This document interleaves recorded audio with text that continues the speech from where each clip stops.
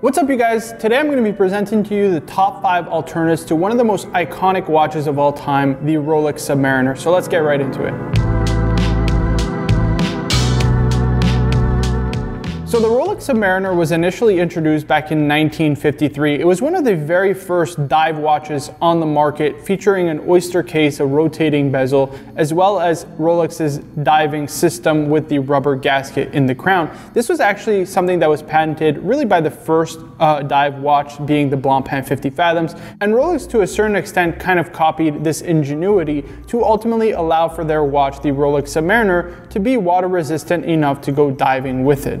So the Rolex Submariner itself has a really interesting history in that it was used by a number of diving brigades, but not to mention the fact that it created the offshoot of it, namely the Sea Dweller, which was later used by a very famous diving company called Comex. And this has a really interesting history to it in the race for ultimately becoming that dive watch for Comex between Omega and Rolex, Rolex eventually winning out in the end.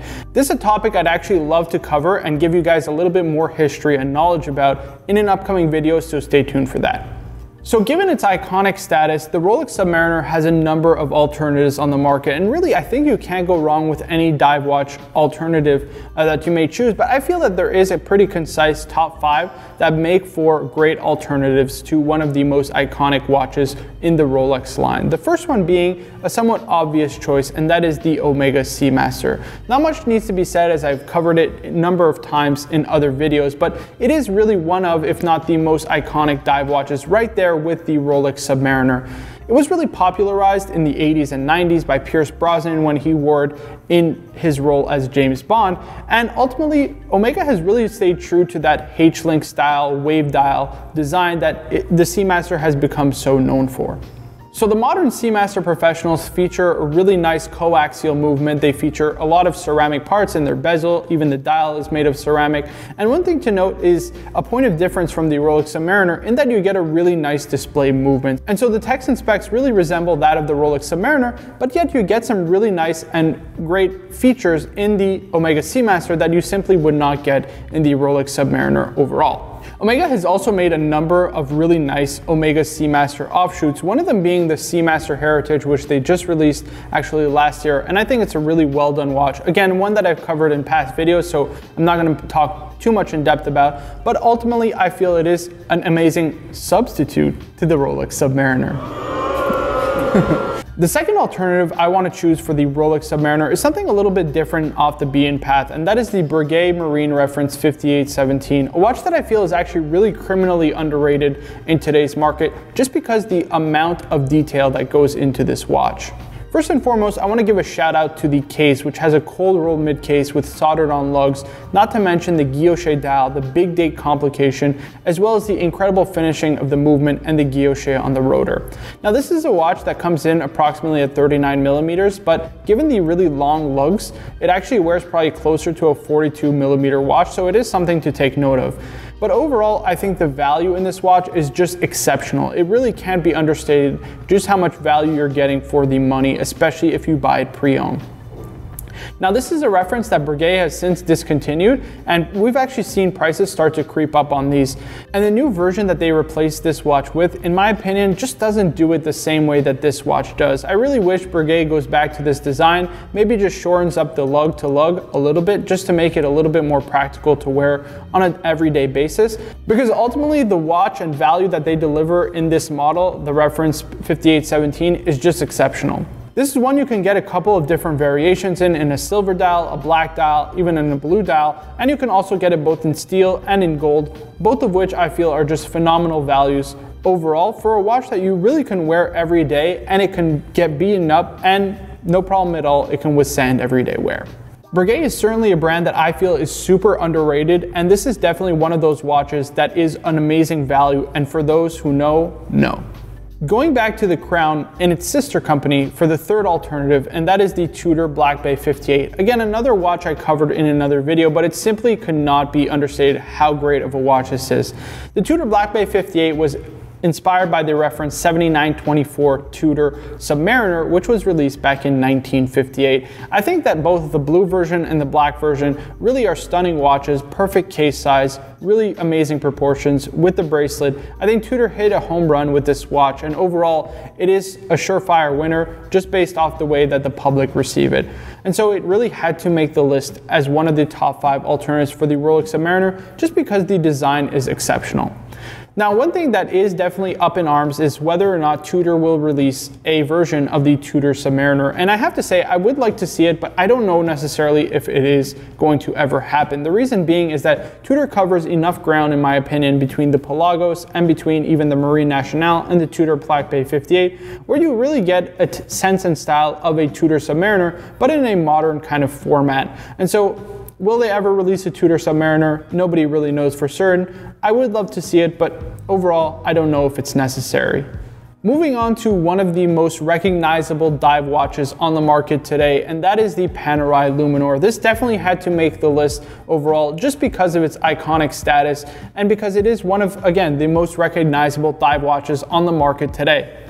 So Panerai really rose to prominence in the 90s when it was featured on the wrist of Sylvester Stallone in the movie Daylight. And this really gave Panerai a lot of exposure. Now at the time, Panerai was actually owned by a company called Vendome, uh, which is known by collectors as the pre-Vendome era of watches for Panerai, and these are exceptionally collectible on the market today. Now, Vendome was actually part of the Richemont group, but was later absorbed by the parent company Richemont overall in 1997, and that is kind of when the Panerai collectors from 1993 to 1997 is pre-Vendome, and 1997 and so on is the post-Vendome or the Richemont era. And that is ultimately how Panerai collectors kind of subdivide their watches, the pre-Vendome being super collectible, but not to mention the post-Vendome era where Panerai actually released a number of faithful re-editions to original Panerai watches that are extremely collectible featuring Rolex stock movements and also Angelus stock movements that were used back in the 30s and 40s by Panerai uh, when they were actually supplying watches to the military. So if I had to choose one Panerai from this list, obviously there's a number of amazing options, but I think I really have to give a shout out to their new Quaranta series, which is featuring a 40 millimeter case size. Now, again, that is definitely atypical because the whole point of Panerai is to wear kind of an oversized dive watch. But I have to say, it is just a much more practical watch for everyday wear. And I really love this series and hope they expand it. But I have to give a shout out also because Panerai has really been innovating uh, with respect to their case materials, with respect to their movements, now going almost entirely in-house. So Panerai is doing really a great job and we're actually starting to see a lot more traction for Panerai, um, which is great because it is is a fantastic brand, a historic brand, and one that I feel has really become very undervalued overall in today's market. So last but certainly not least, in a top five alternatives to the Rolex Submariner, I had to feature the original dive watch, that is the Blancpain 50 Fathoms. Now, this is a watch really that is kind of disappointing in that all of their amazing editions of the Blancpain 50 Fathoms that I like, namely the Mil Spec and the Barakuda, and a number of other ones that are in their 40 mil case size, which is a lot more wearable than the 43 plus millimeter case sizes that are typical for the 50 Fathoms, ultimately are super limited and just can't be bought on the secondary market without paying kind of outrageous premiums for the watch overall. Now, Blancpain is a watch brand that has really struggled with retail success, especially in the modern market. Ultimately, there is just that disconnect between the modern consumer and their watches overall. And I think it is in part because they just don't make watches that are for the mass consumer, and those that ultimately are well, they limit them so much that they end up selling to the same 100 to 200 customers every single year that they sell to. And so they never really expand or broaden their customer base. I think it's a failing strategy. It just makes no sense overall, especially because ultimately you need to build your customer base. And if you're limiting every single one of your best watches in limited batches, limited releases that nobody can ever get, really it creates a frustration with the customer that to be honest, really turns us off from the get-go from ever purchasing a Blancpain watch. Now that's not to say their watches aren't fantastic, aren't a great value, and aren't worth your respect and attention, but it just really disappoints me the fact that Blancpain chooses this route where they basically limit every nice watch that people want to buy and ultimately make them inaccessible to the average consumer. I think Blancpain really needs to alter their retail strategy if they want to witness more success.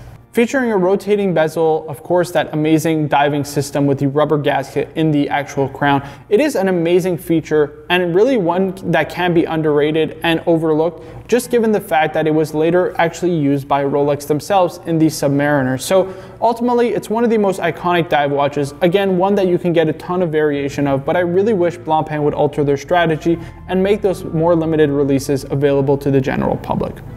Guys, those are my top five alternatives to the Rolex Submariner, but again, that doesn't mean this is the end all be all. There's a number of great watches, namely the Breitling Super Ocean, even the Super Ocean Heritage, and of course, I would love as well the IWC dive watches that I hope they actually bring back and redesign and make them in newer formats to ultimately modernize the line and freshen it up so that ultimately IWC will release a very competitive offering. Again, guys, I'd love to hear your suggestions down in the comments below. Let me know what are your top five to the Rolex Submariner. And of course, guys, please be sure to hit the like button, subscribe for more videos in the future, and as always, I'll see you in the next one.